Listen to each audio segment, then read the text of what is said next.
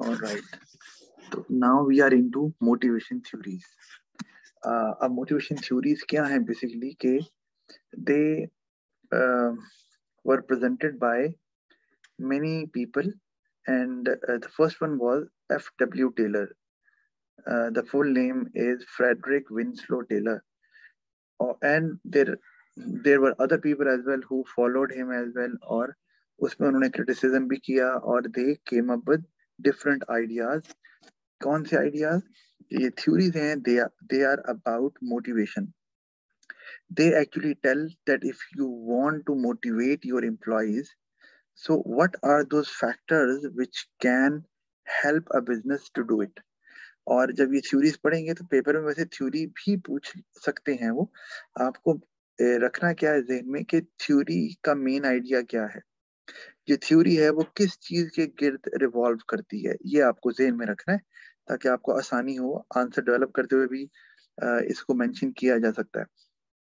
और हम जो people other than Frederick Winslow Taylor हम उनकी भी बात करेंगे। थ्योरीज तो काफ़ी हैं लेकिन ओ लेवल्स में एक लिमिटेड नंबर ऑफ़ थ्योरीज ही आपके सिलेबस में है। तो वील टॉक अबाउट देम और हम देखेंगे कि हर uh, जो बंदा था उसने uh, कौन सा फैक्टर जो है ना उसको हाईलाइट किया है एज अ मोटिवेटिंग फैक्टर कि मोटिवेटिंग फैक्टर मतलब अ मोटिवेटर वो फैक्टर जो वर्कर्स को या एम्प्लॉयज़ को मोटिवेट करता है। तो अब ये पहला जो पहले जो साहब थे वो थे यही एफ़ डब्ल्यू टेलर जिन्होंने एक कॉन्सेप्ट इंट्रोड्यूस करवाया एक आइडिया साइंटिफिक मैनेजमेंट का और उन्होंने क्या कहा कि अगर आप लेबर प्रोडक्टिविटी को इंक्रीज कराना चाह रहे हैं तो आप वर्कर्स को आपको वर्कर्स को मोटिवेट करने की ज़रूरत है। ये हमने कल भी पढ़ा था कि जब वर्कर्स मोटिवेट होते हैं they are happy they will be more focused they are less likely to make mistake they'll finish their job uh, quickly तो उससे लेबर प्रोडक्टिविटी ऑफ़ कोर्स बढ़ेगी। और जो हमने कल डिस्कस भी किया था कि labour productivity means output produce by each worker तो वो बढ़ जाएगा, उससे आपकी कॉस्ट कम होती है हमें पता है प्रॉफिट बढ़ेगा, वगैरह वगैरह। तो उसने कहा कि मोटिवेशन लानी लेबर प्रोडक्टिविटी बढ़ानी है तो मोटिवेशन की ज़रूरत है और मोटिवेशन के लिए उसने ये एक आइडिया प्रेजेंट किया। और वो क्या था, उसमें कुछ स्टेप्स हैं, जैसे कि उसने कहा कि break down the job into smaller and simpler task मतलब ये कि do not assign all the task to one person जैसे मैं एग्जांपल देता हूँ कि let's say you are into furniture manufacturing तो there are lots of activities which are involve in furniture manufacturing you have to buy wood फिर आपको would को refine करना है, फिर आपको असेंबलिंग भी कटिंग करनी है असेंबलिंग करनी है फिनिशिंग है, ठीक है? और उसके बाद ट्रांसपोर्टेशन उसकी आ जाती है। तो lots of task are involve तो अब वो टेलर को पता था कि ये that can't be done by one single person with the same amount of perfection तो उसने ये कहा कि पहले और मकसद क्या था? लेबर प्रोडक्टिविटी को बढ़ाएँ और किस तरह से मोटिवेट करके। तो इस, ये करने के लिए उसने हमें ये कॉन्सेप्ट दिया कि ब्रेक डाउन करें जॉब को सिंपलर टास्क में, जैसे हम डिवीज़न ऑफ़ लेबर में करते हैं। ये इसी का कॉन्सेप्ट था कि एक एक जॉब को डिफरेंट टास्क में आप डिवाइड कर दें, क्योंकि कोई भी जॉब जो है वो एक ही टास्क पे मुश्तमिल नहीं होती, आपको पता है there are various task involve in doing a job तो उसने कहा, उस जॉब को टास्क पे डिवाइड करें और फिर वो बंदा जो जो हर टास्क को सबसे अच्छे तरीके से कर सकता है, या who is the most suitable उसको वो टास्क असाइन कर दें, उसे परफॉर्म करने दें। और देखें कि उसका बेस्ट टाइम उस टास्क को कंप्लीट करने का क्या है। जैसे मैं एग्जांपल देता हूँ because I did talk about furniture manufacturing तो let's say assembling of the furniture तो आपको लगता है कि three worker they are good at it वो असेंबल अच्छे से करते हैं, जल्दी करते हैं, और बहुत फ्लॉलेस तरीके से करते हैं। तो आप उनको ये टास्क देंगे असेंबलिंग का, और उनका टाइम देखेंगे कि वो कितने टाइम में ये काम कर रहे हैं। अच्छा फिर set a target output and reward workers in the form of extra pay if target is achieved और फिर क्या करें? कि जब आपने हर वर्कर को एक टास्क दे दिया है in which that worker is good at तो फिर आपने उनको टारगेट दे दिया, क्योंकि आपको टाइम भी पता है कि कितने टाइम में टास्क कंप्लीट होता है तो आपने उनको टारगेट देने हैं इन टर्म्स ऑफ़ आउटपुट अगर वो मैन्युफैक्चरिंग बिज़नेस है कि आपको, आपने अगर इतने घंटे काम करना है, या आप अगर इतने टाइम के लिए मौजूद हैं, या कंपनी आपको हायर करती है तो आपको इतनी रिक्वायर्ड आउटपुट प्रोड्यूस करके देनी है। तो if they meet that target तो गिव देम रिवॉर्ड ये वो एक आइडिया प्रेजेंट ये किया था। इसका मतलब ये है कि टारगेट सेट करके और अगर टारगेट सक्सेसफुली अचीव होता है तो आप फिर वर्कर्स को रिवॉर्ड करें फाइनेंशियली उसका फोकस यही था। There are many ways in which workers can be rewarded one of the way is give them money ठीक है? तो ये रिवॉर्ड देम फाइनेंशियली ये हो सकता है। लेकिन तो टेलर का मेन फोकस इसी पे गया। लेकिन टेलर ने ये कहा कि पहले आपने जॉब को टास्क में डिवाइड करना है और हर टास्क उस बंदे को देना है कि who is an expert who can do it better than others और उसके बाद टारगेट देना है। ऐसा ना ना हो कि यू लेट से कि you have given a task to somebody who is not good at it और उसको टारगेट दे दिया तो that person would never be able to achieve that ना। वो तो आपकी गलती हो गई तो आपको पहले ये देखना है कि सूटेबल कौन है उसके लिए, उसके बाद आपने ये काम करना है। अच्छा तो उसका ये आइडिया था, उसने ये क्यों कहा? क्योंकि उसने कहा कि money is the only motivating factor for employees कि एम्प्लॉयज़ जो है, वो मनी से ही मोटिवेट होते हैं और कोई दुनिया में चीज़ नहीं है उसके ख्याल में, क्योंकि आपने अगर नीड्स एंड वांट्स को सेटिस्फाई करना है तो you need to buy goods and services and to buy goods and services you need to have money तो मनी अगर उनको देंगे रिवॉर्ड की शक्ल में तो वो अपनी बेस्ट एफर्ट करेंगे और मोटिवेटेड रहेंगे। ये आइडिया था। इसका और productivity will increase resulting in lower average cost ये इसका आइडिया था। अब आप गौर करो तो इसके अंदर अगर एक चीज़ है जो नज़र आ रही है, वो ये कि इसमें ऐसे लग रहा है जैसे हम वो वर्कर जो आउटपुट प्रोड्यूस करते हैं, उन्हीं की बात है। तो अब आपको पता है, हर बिज़नेस में तो आउटपुट प्रोड्यूस नहीं होती। मतलब there are other business as well where goods are not produced where services are provided तो वहाँ पर थोड़ा इशू आएगा क्योंकि वहाँ पर आप आउटपुट मैयर नहीं कर सकते क्योंकि वहाँ पर तो you you deal clients you entertain customers तो वहाँ नंबर ऑफ़ कस्टमर्स काउंट कर सकते हैं आउटपुट तो आप नहीं प्रोड्यूस कर रहे तो वो एक इशू आ सकता है क्योंकि ये प्रोडक्टिविटी की ही बात करें और उसमें प्रोडक्टिविटी क्या है? आप इमेजिन करो ना you are you are in a bank you work in a bank and you deal clients on daily basis तो आपकी प्रोडक्टिविटी कैसे निकालें? आप तो कुछ प्रोड्यूस नहीं कर रहे you provide services banking services to people तो ये इशू आ सकता है। इसके अंदर बहुत लिमिटेड बिज़नेस एक्टिविटीज़ पे ही फोकस किया गया है और इसलिए इसमें कुछ क्रिटिसिज्म भी हुआ है। अपार्ट फ्रॉम दिस जो मैंने बताया, वो ये भी जैसे कि employees get motivated by factors other than money as well yes आप इमेजिन करो कि you work in an organisation and your boss insults you, demoralizes you on regular basis, but pays you handsomely. So would you like to work in that organization आप बताओ no sir no especially those people who have a self respect जिनकी नहीं और बात है लेकिन there are many people who give priority to their self respect तो वो कहते हैं जी पैसे भाड़ में गए रिस्पेक्ट करेंगे तो काम करेंगे तो इसका मतलब है कि this is also one of the very important motivating factor मैं अगर अपनी बात करूँ तो आई वर्क इन दो schools where I get the respect I want और मैं मनी को प्रेफरेंस नहीं देता, मैं अपनी बात कर रहा हूँ आपसे। तो there are other employees as well जो कि ऐसा ही चाहते हैं। तो इसका मतलब है फिर यहाँ तो इसकी जो फार्मूला था टेलर का, वो थोड़ा सा फ्लॉड हो गया। क्योंकि हर एम्प्लॉय को पैसे दे रहे हैं, लेकिन employee is not comfortable with the job और with the way managers deal the employees तो वो वर्कर मोटिवेटेड रहेगा नहीं। तो आइडिया फ्लॉप हो जाएगा। अच्छा फिर दूसरा ये कि money can not bring motivation among workers if there is job dissatisfaction अब ये जॉब डिससेटिस्फैक्शन भला क्या होती है? आइडिया है? नो सर नो याद रखना है job dissatisfaction is the direct outcome of the job मतलब मतलब कि whatever job you are doing you do not like it simple is that इसका ऑपोजिट है जॉब सेटिस्फेक्शन मैं एग्जांपल देता हूँ. Let say you become a famous singer और an actor और अ प्लेयर ठीक है? And you like to sing you like to play right you like to act और आपको उसके पैसे भी मिल रहे हैं. तो दिस इज़ व्हाट यानी कि जब आप एक्टिंग करती हो या सिंगिंग करती हो या आप कोई स्पोर्ट्स प्लेयर हो प्रोफेशनल प्लेयर हो, आप खेलते हो तो यू गेट हैप्पी ठीक है? और उसके आप इंजॉय यू इंजॉय दैट और डिस्पाइट दैट आपको पैसे मिलते हैं। तो इसका मतलब है, आप जॉब को इंजॉय कर रहे जो getting a salary getting a certain income is a different thing वो तो मिलेगा ही। लेकिन आप जॉब को एंजॉय कर रहे हो। एक बंदा है, वो जॉब कर रहा है for the sake of getting money but that person is not comfortable with the job मैं एग्जांपल आपको देता हूँ कि एक टीचर है, वो एक क्लास में अब उसको जॉब मिल गई है, वो क्लास में चला गया, बच्चों को पढ़ाने and the boys are very naughty there and they are indisciplined and they are not ready to listen to the teacher अब वो नया टीचर था लैक ऑफ़ एक्सपीरियंस था। अब वो कह रहा, पढ़ाऊं कैसे? पहले साइलेंस होगी तो पढ़ाऊँगा।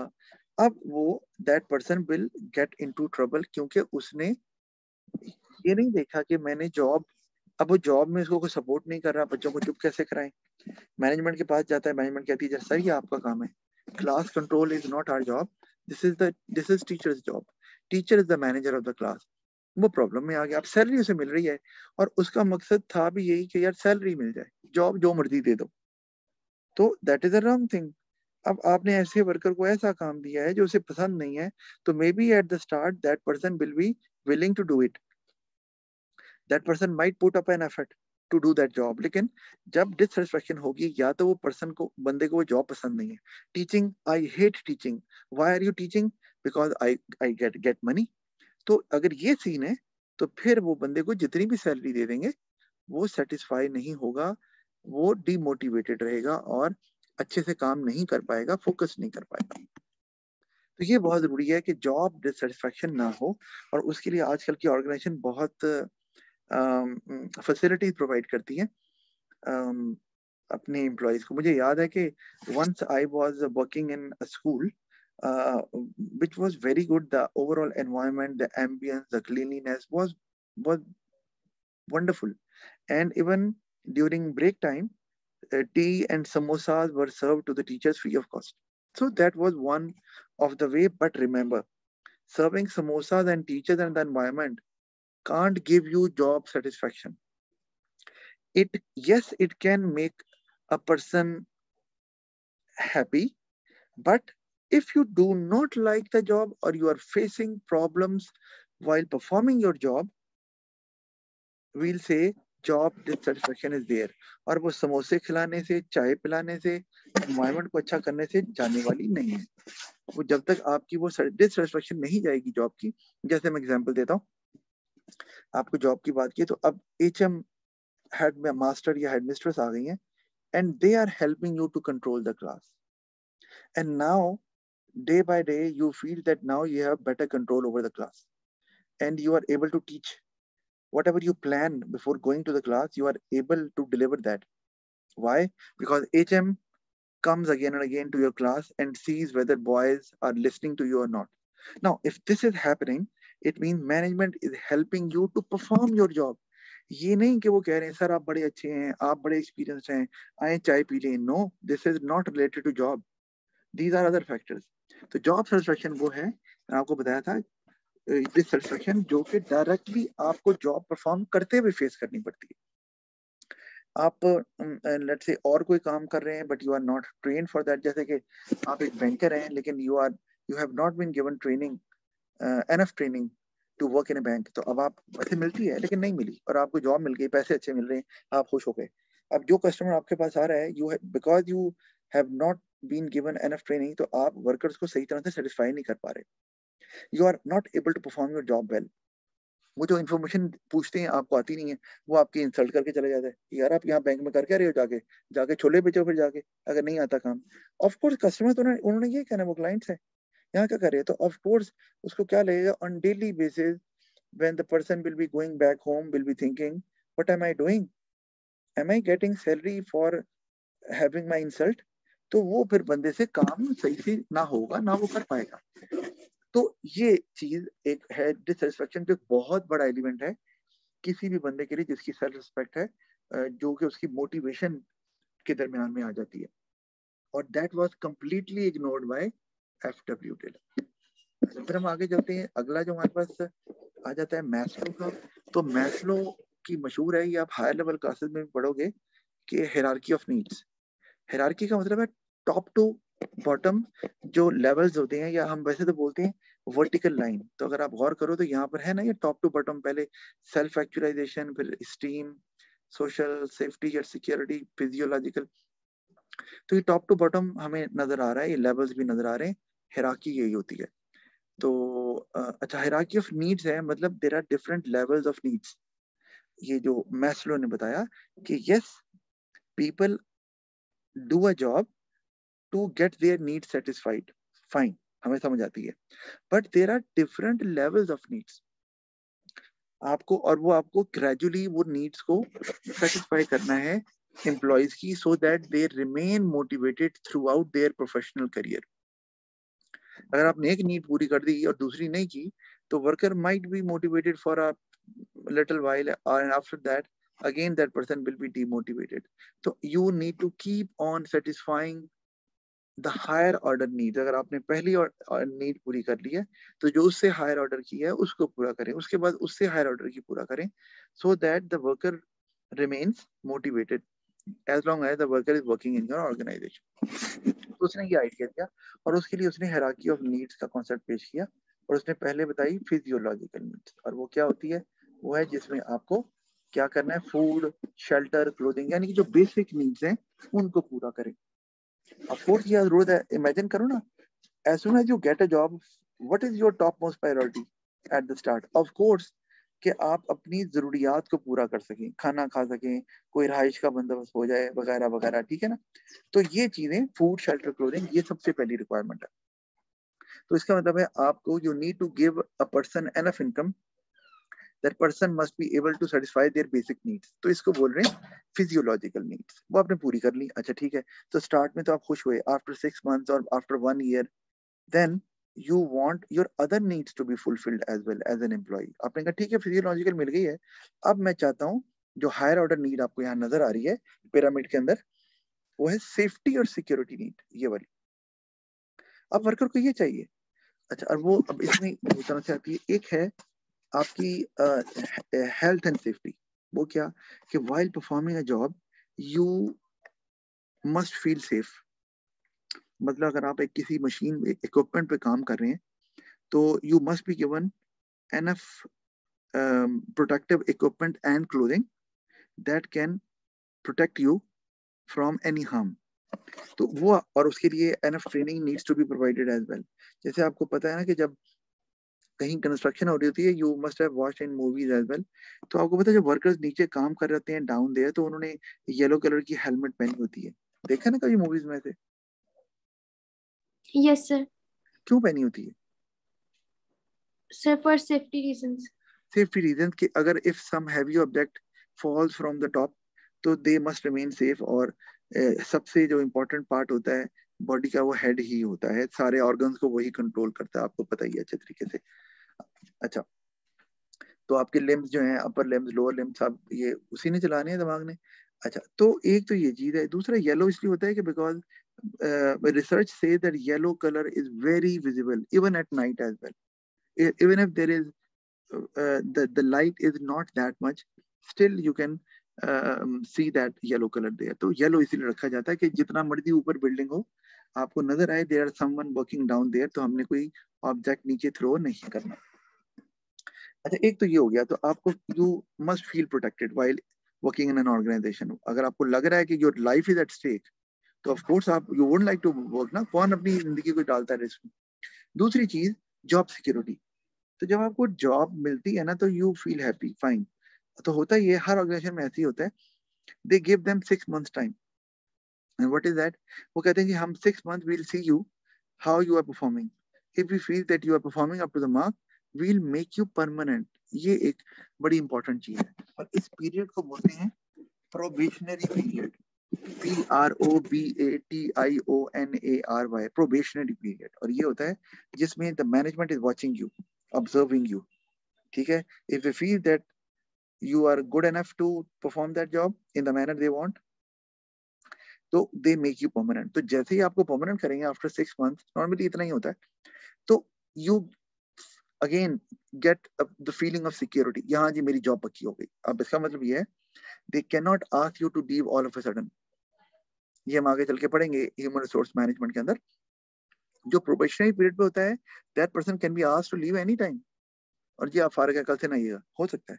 लेकिन वंस यू गेट परमानेंट तो अब आपके, आपको खाली ये नहीं है कि जॉब पक्की हो गई, आपको कुछ और फैसिलिटीज़ और बेनिफिट्स भी दिए जाते हैं। उस पर भी हम बात ज़रूर करेंगे, लेकिन अभी चूँकि ये ह्यूमन रिसोर्स का चैप्टर नहीं है तो मैं इस पर जाना नहीं चाह रहा। वो है बेनिफिट जो आपको मिलते हैं। हम सिक्योरिटी की बात करें। तो जॉब पक्की हो गई यार, चलो अब चलेगी। मैं अच्छा काम करूँगा तो मेरी जॉब रहेगी। उसके बाद आती है सोशल नीड्स अब आपको पता ही है कि by nature man is a social animal and we require other human beings to talk ठीक है? To discuss our issues to resolve our problems और to help them out help us out while performing job होता है ना? कोई बंदा यार मैं जल्दी निकल रहा हूँ आज मेरी फैमिली में एक इशू है मेरा काम संभाल लेंगे होता है sometimes you have an issue कोई आपसे काम टास्क परफॉर्म नहीं हो रहा आपने अपने कुलीग को कहा जो फेलो का फेलो मेंबर था यार इधर हेल्प करी मुझसे काम नहीं हो रहा मुझे जरा बता कैसे करना है? वगैरह वगैरह। तो और उसके अलावा भी आ, होता यही है कि let's say you work eight hours in a day and after four hours you know that it is obligatory that break time should be there for the workers तो workers relax होते हैं अपने लंच टाइम पे चले जाते हैं और वहाँ they have a chit chat तो उसमें बिल्कुल इनफॉर्मल वे में रिलैक्स होकर बात कर रहे होते हैं। तो उसमें वो बड़ा उनको एक कंफर्टेबल एनवायरनमेंट मिलता है। क्यों? When they feel that they are working among their family and friends कि यार दोस्त ही आ रही हैं, जिसमें कैंटीन में बैठ के या ब्रेक टाइम में बैठ के गप्पे लगाते हैं और बाद में इकट्ठे काम भी करते हैं। तो they feel like family they feel like friends तो ये भी एक चीज़ है जो कि बहुत ज़रूरी है। इमेजिन करो कि आप ना किसी स्कूल आप स्कूल जाती हो and you have no friends how long you can you survive over there class पढ़ती हो निकल जाती हो क्लास फ्री होती है ब्रेक होती है चुप करके अकेली बैठी रहती हो तो of course this is very difficult for a human being sooner or later you will leave that school so imagine same is the case with uh, employees as well तो उनके अगर किसी ऑर्गेनाइजेशन में काम कर रहे हैं and they feel nobody is actually um, coming to them uh, yeah helping them out yeah uh, they cannot call anybody their friend so there is a problem. Sooner or later that employee is going to leave the job yeah the employee is not able to focus. उनको help भी चाहिए कोई problem है issues को भी discuss करते हैं और इस तरह से उनकी परफॉर्मेंस लो हो जाएगी बहुत ज़्यादा क्योंकि मेंटली वो स्ट्रेस में चले जाएँगे because alone if you are working तो that is not gonna work imagine करो आपको कमरे में बंद कर दें के लिए खाना पीने देते रहे छह महीने तक। हो सकता है मुमकिन है? रह सकती है छह महीने कमरे के अंदर खाने पीने टीवी के साथ? नो सर नो तो कोविड नाइनटीन में तो लोगों को बड़े स्ट्रेस में चले गए थे। और वो उनको बकायदा से एंग्जाइटी हो गई थी डिप्रेशन हो गई थी। तो वो इस वजह से कि कोविड नाइनटीन में जब आप जाते हैं तो आपको ऑफ़ कोर्स वो क्वारंटीन करना पड़ता है। स्पेशली प्लेयर्स की बात करते हैं जो खेलने जाते थे मैचेस पंद्रह पंद्रह दिन बीस बीस दिन। तो वो बहुत ही मुश्किल काम था पेरेबल नहीं था। तो ये इंपॉर्टेंट चीज़ है, उसने इसको हाईलाइट किया हुआ है। तो इसलिए एम्प्लॉयज़ की पार्टीज़ भी करते हैं। मुझे याद है स्कूल में ऐसे ही करते हैं। पार्टीज़ करते रहते हैं और टीचर्स की गैदरिंग करवाते हैं ताकि टीचर एक दूसरे से जले ना हो। दे फील लाइक फ्रेंड्स वैसे तो पढ़ा रहे होते हैं टाइम नहीं होता। तो ये जब ऑफ़ होती है ना क्लास आजकल बुलाया बुला रहे हैं टीचर्स को। आएँगे सर पार्टी करते हैं। इसीलिए बुला रहे हैं ताकि टीचर्स को लगे कि हम एक ही we are part of the same family तो वो सोशल नीड पूरी हो जाती है आपकी और कुछ लोग तो ऐसे भी होते हैं जो जॉब इसीलिए करते हैं टू किल टाइम चलो यार, वहाँ गपशप लग जाए। घर बैठ के क्या करना है? बोरी होना है। ऐसे लोग भी होते हैं। होते हैं ना ऐसे? यस सर अच्छा इसी तरह स्टीम नीड स्टीम नीड में क्या आता है? आपका स्टेटस आपकी सेल्फ स्टीम आपके रिकग्निशन मतलब ये कि अगर आप you you are working in an organization और यू वर्क वेरी वेल और आप हर काम टाइम पर करते हो कस्टमर आर वेरी हैप्पी तो आप को ऑर्गेनाइजेशन रिकग्नाइज करती है। जैसे आपको employee of the year award दे दिया या आपको कहते हैं, जनाब, आप छुट्टी करते हैं ना तो जी हमारा तो बिज़नेस ठप हो जाता है क्लाइंट ही नहीं आते। जनाब आपके बगैर तो हमारा बिज़नेस बिल्कुल ज़ीरो है। तो now this is kind of kind words of appreciation तो ये आपको रिकग्नाइज करते हैं।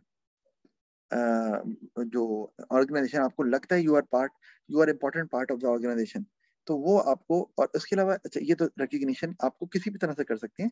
रिकग्निशन आपको कर दी।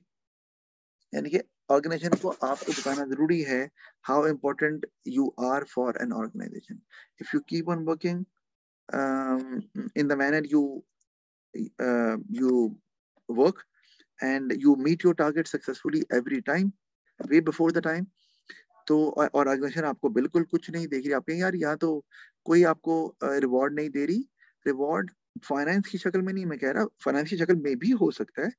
नो no इश्यूज़ कि आपको, they they raise your salary बिल्कुल हो सकता है लेकिन उसके अलावा जो वर्ड ऑफ़ अप्रिसिएशन है वो भी इसी में आ रहा है कि they are recognizing that you are you are a prominent uh, feature of our, of uh, their organization you are one of the most important employee of the organization and they do not want to leave you they are, they give you they, they give you respect so ye aa jata hai इसी में salary जो बढ़ा आपकी बढ़ा रहे हैं वो भी इसी में आ रहा है अच्छा और इसके साथ आ जाता है हमारे पास कि क्या मैंने बताया आपको?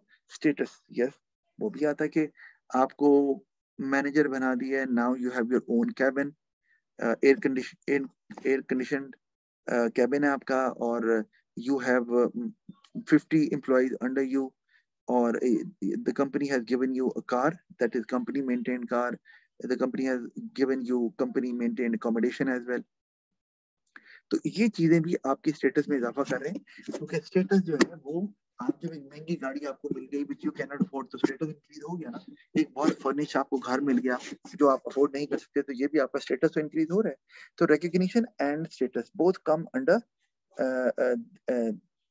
this level that is esteem needs और उसके बाद हमारे पास आ जाता है सेल्फ एक्चुअलाइजेशन और ये होता है कि वो मुकाम जो हर बंदा कहता है कि I deserve that I have the capability of achieving that तो लेट से आप कहते हो, जी, मैं, मुझे मैनेजमेंट की टॉप टीयर पे होना चाहिए इस ऑर्गेनाइजेशन में because I work there for 25 years और I have the potential to reach to the top and finally after spending a lot of years there you reach to the top तो इसका मतलब है आपने अचीव कर लिया. Self actualisation self actualisation का मतलब ये है कि where do you want to see at the end of your professional career normally ऐसे ही होता है. यार यहाँ तक तो मुझे जाना ही चाहिए। And finally you reach that you achieve that you reach that level तो आप कहेंगे सेल्फ एक्चुलेशन आ गई। अच्छा नॉर्मली ये भी होता है कि ये लेवल शायद लोग एम्प्लॉइज को अचीव ही नहीं होता। They struggle to get to it लेकिन होता ये है कि पहुँचते पहुँचे, यानी कि स्टीम नीड तक पहुँचे, और उसके बाद या तो वो वहाँ पहुँच गए, और उसके बाद रिटायर हो गए, या फिर इससे पहले रिटायर हो गए, ऐसा हो जाता। तो मेरे ना अंकल थे पिंडी में तो वो भी प्रोफेसर थे केमिस्ट्री के, एक गवर्नमेंट कॉलेज में तो वो अब उन्होंने बहुत सर्विस की और फाइनली उन्होंने कहा, अब जो हाईएस्ट रैंक है, वो प्रोफेसर का होता है किसी भी यूनिवर्सिटी के अंदर, एक कॉलेज की हम बात कर लेंगे। तो अब वो उन्होंने कहा कि मैं, अब उनका भी जहन में था कि प्रोफेसर यार मुझे रिटायर होना चाहिए तो वो फाइनली एसोसिएट प्रोफेसर मतलब लेक्चरर होता है, फिर असिस्टेंट प्रोफेसर फिर एसोसिएट प्रोफेसर उसके बाद फिर फुल प्रोफेसर कि मुझे ये रिटायर होना चाहिए तो फाइनली एसोसिएट प्रोफेसर वो रिटायर हो गए। उन्हें अफसोस हुआ यार, मुझे प्रोफेसर होना चाहिए था। लेकिन फाइनली उनका केस फॉरवर्ड हो गया हुआ था तो रिटायरमेंट के वक्त उनको फुल प्रोफेसर की पोस्ट पे ही रिटायर किया गया और उनको जो पेंशन आती है, वो फुल प्रोफेसर की आती है तो इसका मतलब है उन्होंने सेल्फ एक्चुअलाइजेशन अचीव कर लिया। और ये आखिर में क्यों होता है? ये अर्ली अचीव नहीं होता, क्योंकि once it is achieve earlier तो आगे तो ऊपर कुछ रह ही नहीं गया। तो फिर एम्प्लॉय को मोटिवेट करने के लिए आप क्या करोगे? कुछ नहीं। तो इसलिए ये होता ही at the end of the professional career of the employee है। या ये अचीव होता नहीं है और रिटायरमेंट कम्स और ये रिटायरमेंट को ये अचीव करते हैं और उसके after some time the employee gets retired happily तो ये तरीका है हमारे पास। तो इसमें ये है, आपके पास लोअर ऑर्डर नीड से ऊपर जाना है हायर ऑर्डर नीड की तरफ़। फिजियोलॉजिकल लोएस्ट है और जो सेल्फ एक्चुअलाइजेशन है वो हाईएस्ट है। और आपको बिज़नेस को क्या करना है? Business needs to keep on satisfying higher order needs. पहले सेफ्टी कर ली फिर सोशल कर ली ताकि बंदा throughout the career motivated रहे। अच्छा इसमें से अब अगर मैं बात करूँ टेलर की तो टेलर का मनी आप बता सकती हो कि टेलर का जो मनी की थ्योरी थी कि money is the only motivator और वो मोटिवेट करता तो क्या इनमें से कोई नीड्स पूरी होती है मनी से? क्या ख्याल है? कोई नज़र आ रही सर यस सर जो सबसे नीचे physiological needs very good physiological basic needs को आपको अगर सेटिस्फाई करना है तो you need to buy goods and services उसके लिए आपको पैसे चाहिए। वेरी गुड और कोई है?